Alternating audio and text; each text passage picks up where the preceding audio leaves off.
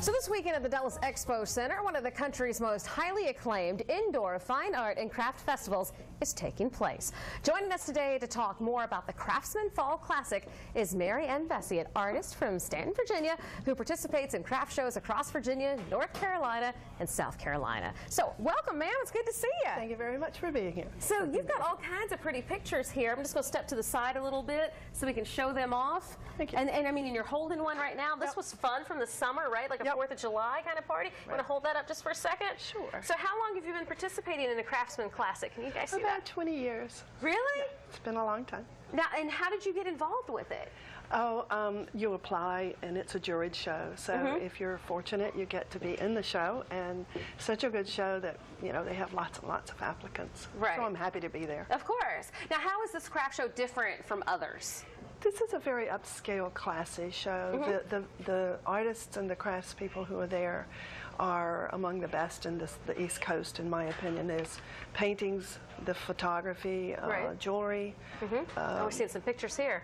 Yeah, a, Mm-hmm. a lot, a lot of variety, and this time of the year is a great time to be doing the show because um, a lot of people focus on seasonal work, like you know Mm-hmm. Right. Halloween and Christmas, and so there's a lot of seasonal things going on. Yeah. So it's really a lot of energy, huge, you know, huge number of participants, two or three hundred artists. Oh my goodness. Yeah. So what's the benefit of having the opportunity of the interaction between the customer and the artist? That's the best part, you know, It is? because Okay. because I, I sit, I paint in my booth, so I have a lot of people who say, "Well, how do you do that? Where do you get your ideas? How long does it take?" And so I can actually spend a, a fair amount of time teaching what I'm doing, and all the vendors are that way. We all like Mm-hmm. to interact with the with the um, people who are coming through because. Have you ever been inspired by somebody who came up and started talking Absolutely, to you? I say my my um, customers are the smartest people on earth.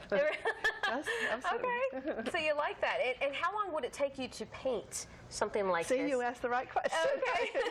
oh, um, I generally allow a good month to do a painting. Really? Sometimes I get through faster. It depends. You know. Yeah, it depends on what's Sometimes going on. Sometimes it takes longer. Like this one took me two months. You Okay. know, this one was forever. So now what happens if you're starting, this is a beautiful picture, I don't know if we can Thank zoom you. in here, the monument, the Capitol behind it, Key Bridge. So what happens if, let's just say you started on the monument and, and you didn't like it, the shading, the well, coloring paint it out and start over. Really? You just kind of scribble out and start That's over why it took so long. I, re- I redid everything in there. It's been redone about six times. Oh my goodness. Until you get it to work. Yeah. But Until I can walk away and, and hold it up in front of somebody and not be embarrassed. Well, you have nothing to be embarrassed about No, no, all. I'm not. I'm very proud of it. Yes, and this one down here with the with the It's the. James River. There's a Okay. um, um, hot air balloon festival, and I went down and took photographs. So it's hot air hot air Yeah. balloon festival.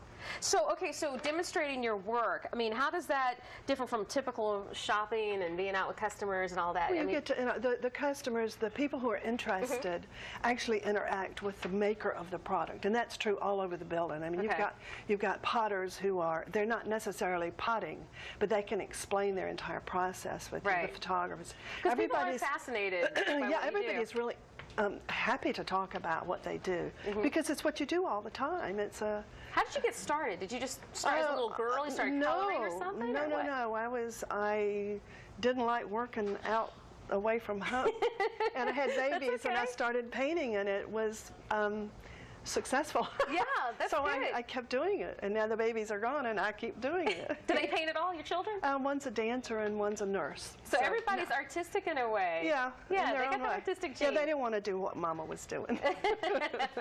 All right. Well, thank you so much for coming. We Thank you. appreciate it. So Yeah. we're going to see paintings like this from your exhibit. Oh yeah, yeah. At I the have, Dulles Expo? I have a, you know, the booths are big. They're Okay. 10 by 10s or 10 by 15s. Mine's Okay. a 10 by 15. It's huge. Okay. There are others, and and just an enormous amount of stuff.